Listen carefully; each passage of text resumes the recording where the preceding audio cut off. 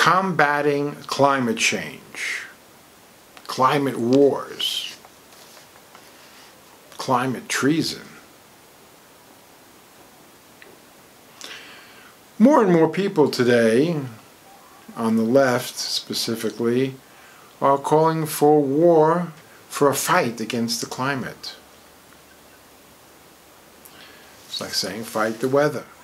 How do you fight the climate? How do you fight something as powerful as the weather? Is it something to fight? When it gets really cold, do you fight it or you just dress warm? When it gets really hot, you either turn on the air conditioning or take off a lot of clothes. Do you fight the heat? Do you fight the cold? What they're really meaning is in climate change that, well, since CO2 is the driver of man made global warming, which is not true, they insist it's true, but it's not true. Is it fake news? Or is it treason? Is it treason to insist on something that is not true and make it true? And then if you're going to fight something that's not even real, what is this craziness?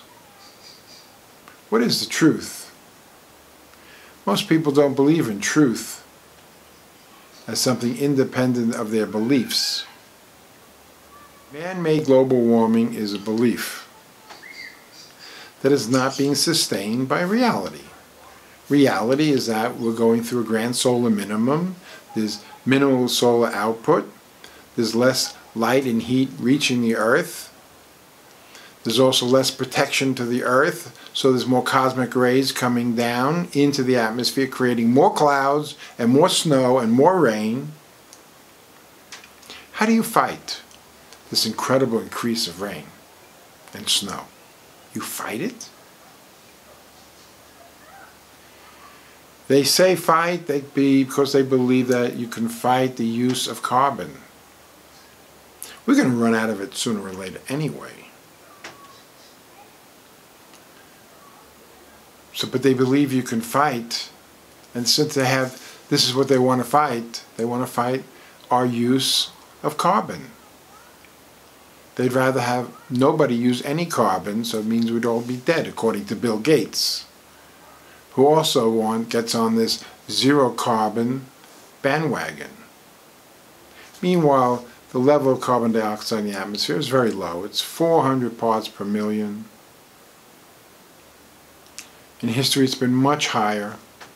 How do we fight the levels of carbon dioxide in the atmosphere going up and down through the ages? Ages.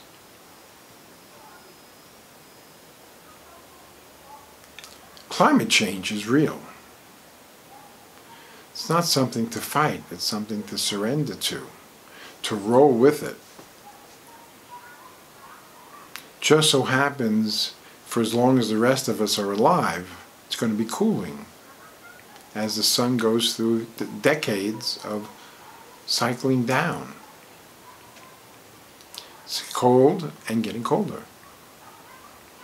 Yes, how my way of fighting the cold, I live in Brazil. Nobody has heat in their houses, but it's getting cooler. In winter here, it gets very cold at night. Not freezing, but without heat. I fight climate change with a biomat, with an infrared mattress that radiates light into my body all night long, and that light, infrared light, turns to heat. Very nice in the cold. In fact, as long as you have electricity to power it, could mean the difference between life and death, as, as opposed as in terms of not freezing to death.